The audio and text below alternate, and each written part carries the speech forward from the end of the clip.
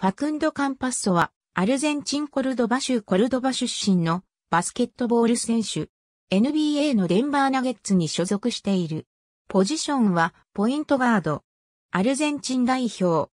2008年に国内リーグの CA ペニャロールでプロデビュー。たちまちリーグを代表するポイントガードに成長し、リーグ戦、リーグカップ優勝など数々のタイトルをもたらし、リーグファイナル MVP にも2度選出された。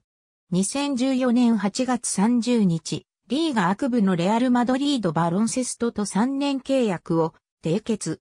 2014から15シーズンは、ユーロリーグ、リーガ悪部、スペイン国王杯優勝を経験し、三冠王を達成した。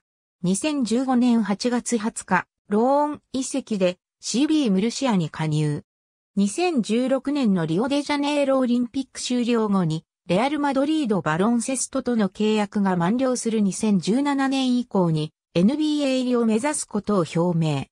2017年4月には NBA の複数のチームがカンパッソとの契約に興味を示していることが報じられた。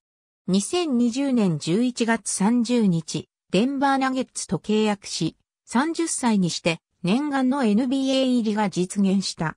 2012年のロンドンオリンピックでアルゼンチン代表デビュー。2014年フィババスケットボールワールドカップ、リオデジャネイロオリンピックにも出場している。